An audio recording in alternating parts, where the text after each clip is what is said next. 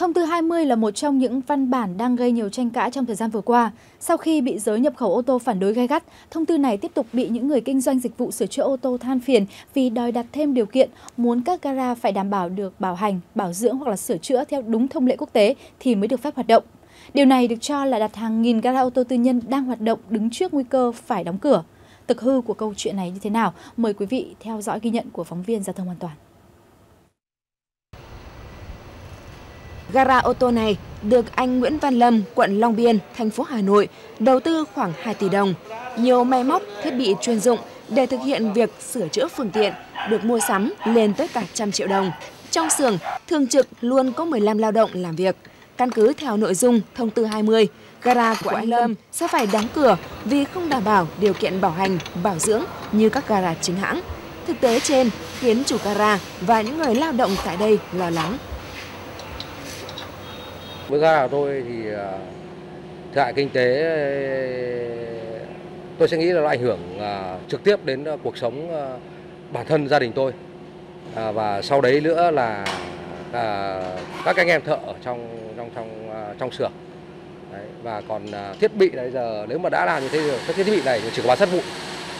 Chắc chắn là sẽ không không không thu hồi được và cái điều đấy sẽ có nghĩa là mất trắng. Thì nó hơi khó khăn một tí vì cái nghề này nó là đam mê của mình thì tôi đi làm việc khác thì nó hơi khó khăn một tí từ thời gian lúc đầu của mình đi làm.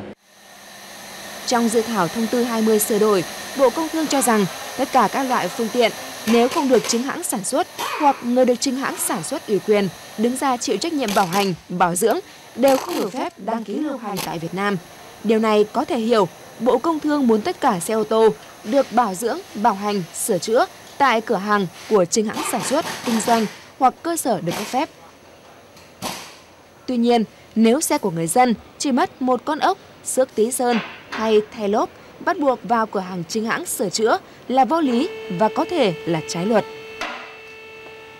Việc mà bắt buộc phải đưa vào chính hãng để mà tiến hành sửa chữa cũng như là bảo dưỡng bảo hành thì hoàn toàn không phù hợp với quy định pháp luật cũng như là cái quyền tự do lựa chọn những cái đối tượng cung cấp dịch vụ của người tiêu dùng. Bởi vì có thể là những cái lỗi ờ, hỏng hoặc là sửa chữa nhỏ thì họ cũng không nhất thiết là phải đưa trực tiếp vào cái cơ sở ủy quyền hoặc là chính hãng.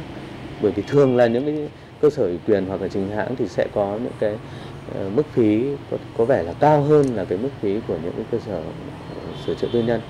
Và đặc biệt là chúng ta không thể cho rằng là những cái cơ sở hoặc là những gara mà thuộc doanh nghiệp tư nhân hoặc là những cái doanh nghiệp có đủ điều kiện ở bên ngoài là cái chất lượng nó không đảm bảo bằng những cái đại lý chính hãng. À, theo tôi nghĩ thì là là là là cái cái cái ờ, cái cái, cái mà vấn đề này mà nó nó nó nó nó nó xảy ra chẳng hạn.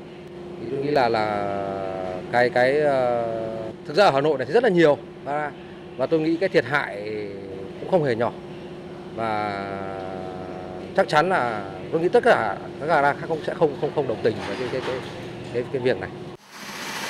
Ô tô là tài sản lớn của mỗi gia đình, do đó người dân sẽ tự biết lựa chọn bảo dưỡng, thay dầu, sửa phanh, thay lốp ở đâu để vừa đảm bảo an toàn hoạt động cho phương tiện, vừa tiết kiệm kinh phí.